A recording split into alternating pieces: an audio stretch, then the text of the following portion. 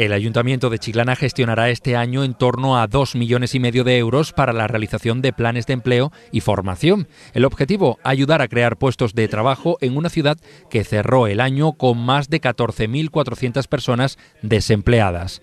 Lo ha dicho el alcalde Ernesto Marín, quien ha querido que su primera comparecencia del año ante los medios de comunicación tuviera que ver con el empleo, la principal prioridad del equipo de gobierno, según Marín. Lo importante es recalcar que este equipo de gobierno eh, está preocupado con el empleo y que es el objetivo número uno y que todas las políticas que vaya a hacer a partir de ahora en la ciudad, todas las políticas, desde fiestas hasta cultura, siempre va a ir encaminado a crear riqueza, a crear economía, a mover la economía para que eso lleve consigo el más empleo en la ciudad.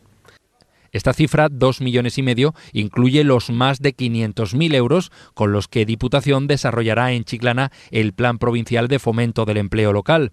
Además, según ha dicho el alcalde, la dotación presupuestaria municipal para el Programa Integral de Empleo será la misma que en el 2013, cuando se presupuestó un millón y medio de euros. El otro medio millón del que habla el alcalde se refiere a las obras del Profea y al decreto de exclusión social de la Junta de Andalucía.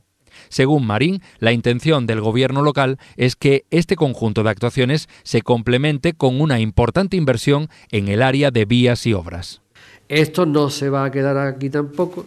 Ya anuncio también que estamos intentando por todos los medios que en el presupuesto que viene eh, y que esperemos que se pueda aprobar, si no en este pleno, en el siguiente, vamos a intentar por todos los medios, no lo puedo confirmar, pero sí vamos a intentar que la inversión para la ciudad en obra eh, pueda ser la misma que el año anterior.